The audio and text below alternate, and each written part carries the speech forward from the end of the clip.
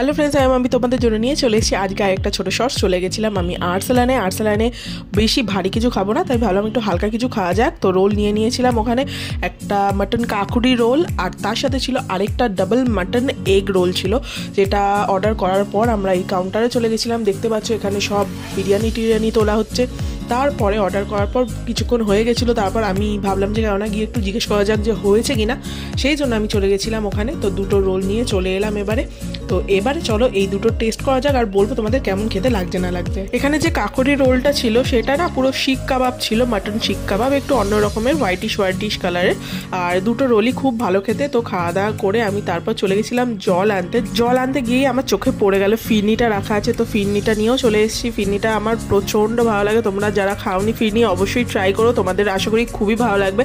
তো ফিরনি টিরনি খেয়ে আমরা একদম ঘরের উদ্দেশ্যে রওনা দিলাম। আর যদি ভিডিওটা ভালো লাগে, অবশ্যই করে লাইক করে দিও।